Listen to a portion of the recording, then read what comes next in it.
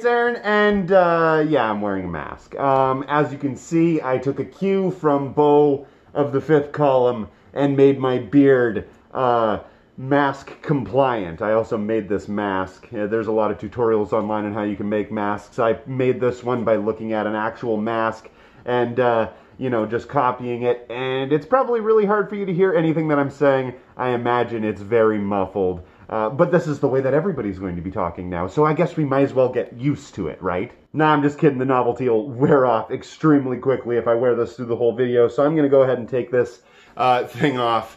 And yeah, I still got I still got something going on here, but it's uh, it's a little shorter than before. All right, so today we're going to be talking about social distance organizing um, and how we're going to go about doing such a thing uh, in a time of a pandemic such as now. So I got a bunch of things laid out, and I just got to say it is super weird uh, seeing my face without the rest of the hair. I, I'm not going to get used to that anytime soon. So anyway, with all that being said, let's get started. Now, the very first thing uh, that I thought of when I was thinking about different ways that we could use um, tactics for organizing and that sort of thing in the midst of a pandemic when people can't actually go out and physically talk to each other, at least within a certain distance. And uh, the very first thing that I thought of was obviously going out and putting up leaflets. Now, leaflets are a great way to uh, get people organized, to get people interested in what you're doing. But the main problem with that is if you go door to door, uh, putting leaflets in mailboxes or on doors or that sort of thing,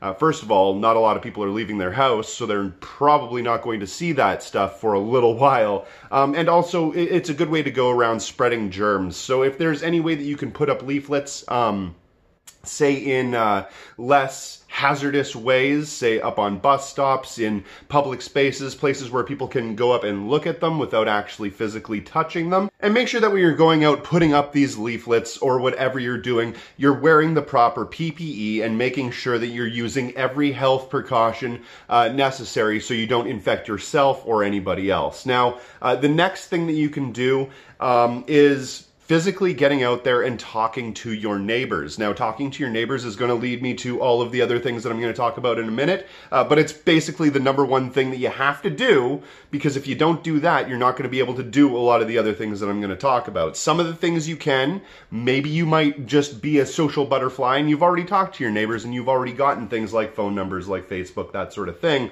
Uh, but to find most of those things out, you have to physically go and talk to them, which isn't necessarily a hard thing to do right now in a lot of places uh, because for some strange reason, more and more people uh, are trying to get outside of their house. Well, I mean, like you'd have to get outside of your house once in a while. Getting cooped up in here uh, for whoever knows how many months is going to make you go completely insane. Uh, but a lot of people are, at least in my neighborhood and other places, getting outside, going and gardening, doing their sort of thing, um, and people are talking to each other from across the street, from next door, uh, that sort of thing, from the balcony above to the balcony across the street or down on the street below. A lot of people are talking to each other, so why don't we use that opportunity to get people involved, to get people invested in actually doing something that can help. A lot of people are going to be without rent money on May 1st just like they were on April 1st. So getting to know your neighbors, getting to know your friends, getting to know your family uh, in a more um, political sense in this way uh, is a good idea because then you're able to spread that class consciousness and get more information out there to people so something might actually be solved.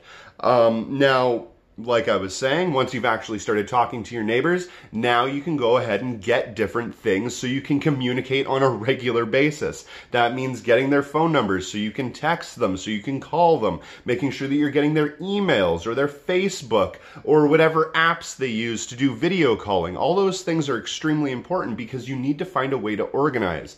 Um, I have many videos talking about mass line organizing. And that's probably the best way to go about doing it. And it's a three step process. The first step is talking to the people individually, finding out what their problems are. The second step is getting all of those people together. Physically isn't necessarily possible right now, but digitally you can get all those people together to talk about the problems and find a socialist solution to those problems and then motivate those people to go out and do something about it. So Uh, and we'll talk about what we can do um, after I talk about different ways that we can actually work towards organizing each other. So, obviously, there's Facebook, email, talking, texting, video calls, that sort of thing. All of those are extremely necessary, and you have to go and get your physical neighbors' phone numbers and so forth so you can actually do that. Some places are going to be more receptive than others. Um, I heard uh, in the States, in certain areas, you can't even go door to door uh, because somebody will pull a gun on you. Now, the likelihood of that happening in a lot of places is extremely low, uh, but there are a few places where it does happen. I keep hearing different stories about that. So um, be cautious, that sort of thing. Uh, but try your best to actually get out there and talk to these people. You got nothing better to do. So like I was saying before, once you've actually talked to your neighbors, you can do different things like social distance organizing. Uh, you can do that by standing on a balcony across from each other. You can also do that by standing six feet apart. Uh, I've seen lots of people across the entire world um, doing different things like exercises and that sort of thing in the middle of the street with other people uh, on their block. They can't go and see their friends across town, uh, right? Because that could be a risk in a lot of places. So people on their block all get out and go outside and do their calisthenics or whatever it is. Um, and it's an opportunity to to talk to people, right? And it's the same thing here. You can use that as a way to social distance organize uh, with those individuals. You can talk to them, you can uh, do all those sorts of things. That's a great way to hold a meeting and actually get these people together so they can go about doing something in real life. And talking about doing things in real life, uh, now let's talk a little bit about how you can go about protesting in a time of pandemic when you can't even necessarily go outside without being fully garbed in like a hazmat suit. What a dystopian uh, reality we live in right now. But anyway, moving forward, let's get right into that. So, the ways that you can protest are many and varied, but there are a lot of very effective ones, and some have to do with inside of your workplace, and some have to do with inside of your home or outside of your home. Uh, and I'm going to talk about all of those right now. So, the very first one that I think about when I'm thinking about a protest um, is a sit down strike, right? Sit downs are fantastic because uh, they physically um, occupy, you physically occupy the space in your workplace, wherever it is, stopping people from being able to do certain things. So if you have a sit down protest um, outside of a building, then you are inherently blocking entry to that building and making it difficult for people to pass. If you make a sit down protest in a grocery store and you're a grocery store employee, say you work the checkout, uh, if you sit down there at the till, then nobody is going to be able to do your job um, because the till is physically being blocked with a human body, so nobody can go over there and actually do the job at the till. So it's a very useful, very um, uh, workable physical activity that you can do. And if you're a grocery store employee and you're stuck there anyway, and you want to make some sort of uh, you know activity, direct action movement, that's one way that you can go about doing it. Okay, so all that being said, obviously if you do any one of these activities, you want to make sure that you're not doing them alone because doing them alone will inevitably mean that you'll probably get fired, uh, you'll get evicted, you'll get arrested, that sort of thing. Um, but if you do it within a group, if you get a bunch of people working together with you, uh, then the, the likelihood of you actually being fired or you actually being evicted or whatever is significantly reduced and you have more strength when you're with other people. Alone we're very weak, but together we're very strong. That's basically the idea of every single uh, syndicalist movement or every single union group throughout all of history. Uh, we have to work together using the collective bargaining power of all of the workers, of all of the people, uh, to be able to get the things that we want. That's the best way to do it. Another fantastic method of protest, especially right now, is something known as a sick in. Uh, now, a sick in is uh, basically the idea where a bunch of people all at once in a business call in sick at the exact same time you really do have a lot of precedent for that right now because a lot of people are probably getting very sick because of the coronavirus pandemic. So calling in sick a lot of people all at once uh, works very well to stop the progress of that capitalist business. And these people are actually able to use their collective bargaining power to really show force against the capitalist industry that they are working under. So, um, and there's a really strong chance that if everybody all goes home sick all at once, once, the capitalist business isn't going to be able to fire all of them all at once. And they're going to basically have to adhere to your demands. And that's a wonderful, wonderful thing. Um, another way of organizing or another way of protesting within the business right now is something known as a wildcat strike. Now, a regular strike, you usually get together with your union, you get together with a bunch of people, and you officially make it known that you're going to be going on strike on this day, and this is your activity, and this is what you're doing, and this is how it's going to be done, and this is what your demands are. Well, a wildcat strike is None of that. It's basically an informal protest where a bunch of people, workers, uh, get angry. They might be unionized, they might not be, and they just all together walk out on the job, or they just stop working, do a sit in, whatever it is, and they just stop production immediately. That's a fantastic way of doing a strike, and it's known as a wildcat strike. It's an informal, um, non official type strike, and you can do it without any union, you can do it without anything. You just have to be able to get together with your other coworkers and make sure you all do it together because together, like I said, we're strong, alone we're weak.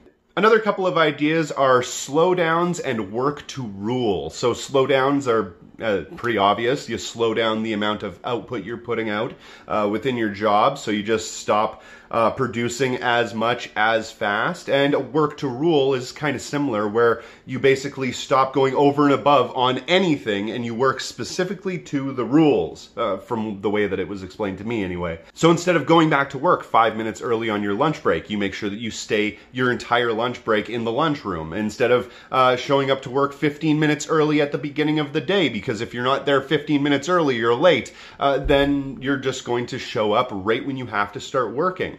Um, it, you're going to make sure that all of the things that you produce, you're doing it to the rule. So using every single safety policy that's around, every single everything to make sure that you're doing that job as slowly as possible. Um, those are both methods of doing slowdowns, and it really hampers the capitalist business from being able to produce um, as much as quickly. And also, if you're doing it all together, it's unlikely that they're going to be able to fire you for doing such a thing because you're still technically doing the job, you're just doing it slowly.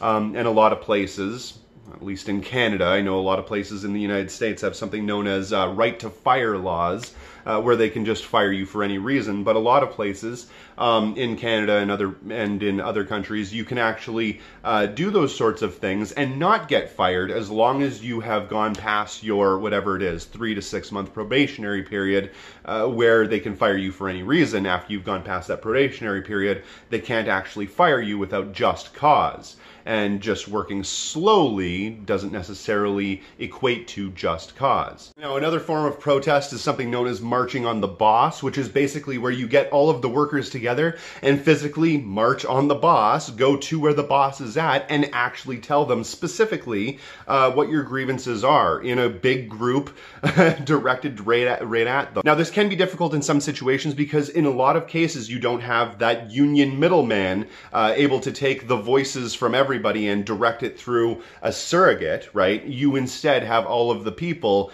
physically talking to the boss. And that can be intimidating because a lot of the workers can be afraid of actually saying the things that they want to say to the boss because they could fear that they would get fired. And in that situation, a lot of time, uh, a lot of the time, one specific individual ends up being the one that speaks for most people anyway because they happen to be the loudest or um, they happen to uh, be able to articulate the problems more clearly than anybody else. So that person becomes a target as being the rabble rouser, the one that's causing all of the problems, and then the uh, um, the management is able to laser focus in on that person and get rid of them. So uh, marching on the boss is a great idea, but it's a greater idea to do it in a way where you can kind of democratically talk um, while everybody is saying something. Because if one person says something, then they're going to be singled out. So try not to specifically draw a target on anybody's back that happens to be more vocal or more interested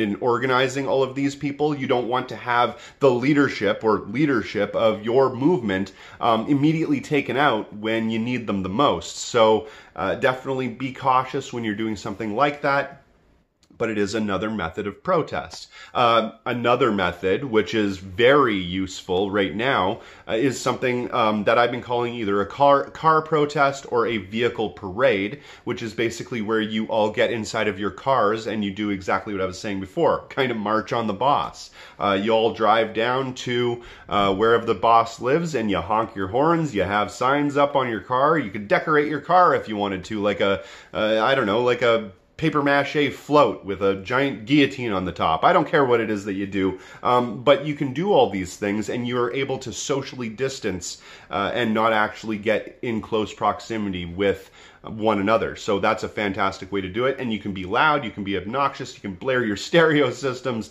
all from within the comfort of your own car. Now, if you don't have a job right now, like a lot of people do, you're probably wondering, what can I do? How can I help? How can I get involved? Well, there are a lot of things that you can do as well. From home, you can do things like phone zaps. A phone zap is basically a uh, protest where a bunch of people get together and call a, an organization or a group so often that they completely flood their phone lines and make it impossible for them to do business as usual. Now, you can do that to a political representative, or you can do that to your landlord, or you can do that to your boss, you can do that to any number of people. Oh, by the way, I'm not specifically condemning nor condoning any of the activities I'm talking about. I'm just saying what you can uh, technically do within a free society. So um, those are definitely methods that you could go about um, blocking up those systems.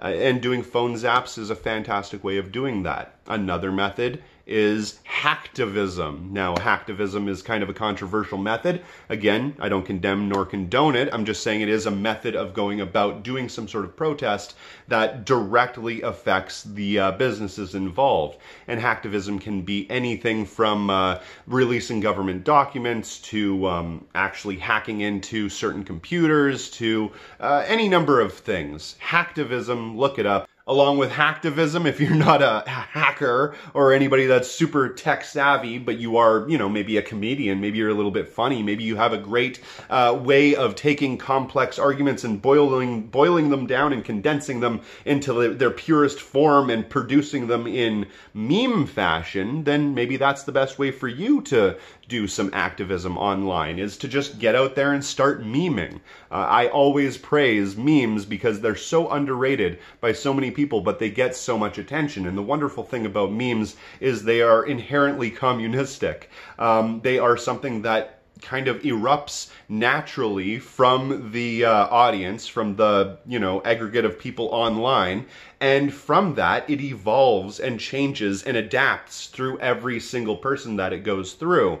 Uh, somebody might change some text, somebody might change a picture, they might Photoshop a face onto a thing or do another thing or make it vaporwave, whatever it is. Memes function very similar to a virus where they are able to be released into the public and they adapt and change and morph and grow over time and become more infectious. And some of them last for a short, short amount of time and fizzle off and die quickly, and other ones persist and uh, just stay there underneath the radar for a very long time. So memes are a great way to get uh, information out there.